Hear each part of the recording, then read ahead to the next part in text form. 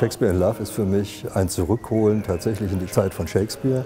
Ähm, ich bin ein großer Fan von Shakespeare und es ist eine wunderbare Gelegenheit, sich mit dieser Zeit und der Situation, in der Shakespeare gearbeitet hat, auseinanderzusetzen. Vor einem Monat hätte ich an Henslow liefern sollen, aber mein Talent ist verschwunden, Kid. Er muss kämpfen, er muss sich durchsetzen.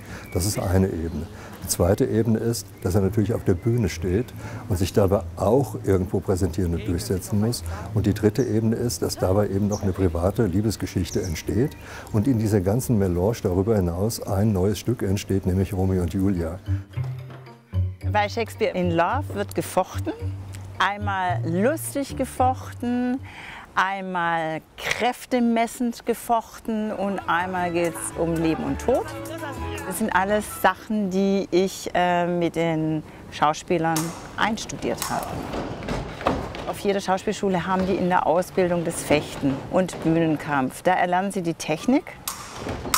Beim Fechten ist es ganz wichtig bei einer Fechtchoreografie, dass die Technik immer drunter liegt unter der schönsten Choreografie, dass es technisch sauber ausgeführt wird, dass trotz dieser hohen Emotionalität, die dann auf der Bühne stattfindet, nichts passieren kann. Das ist ein Deutsch. Und deshalb muss man das proben wie verrückt, dass es im Körper drin ist und dass das einfach abgerufen werden kann. Shakespeare war auf jeden Fall ein genialer Mensch, weil er muss ungeheuer belesen gewesen sein, er muss ungeheuer viel gewusst haben. Die Vielfalt dessen, was er in Szenen gesetzt hat, das Wissen über seine Zeit, über die Menschen, die davor gelebt haben, ähm, über die Autoren von davor, das macht ihn einfach zu einer genialen Figur. Ein neues Stück, was ihr wollt.